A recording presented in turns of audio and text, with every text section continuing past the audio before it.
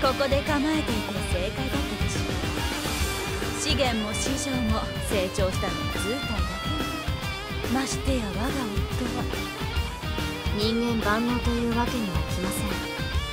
それにあれこれと気をもまずに済む分ここで戦えてよかったかとああなんて賢いの元気殿。どうかあのバカ息子を見捨てないでやってね。師匠殿がおっしゃるほどダメでは？多分ですけど。気を使って。私たちであの者らを召してしまいましょう。はい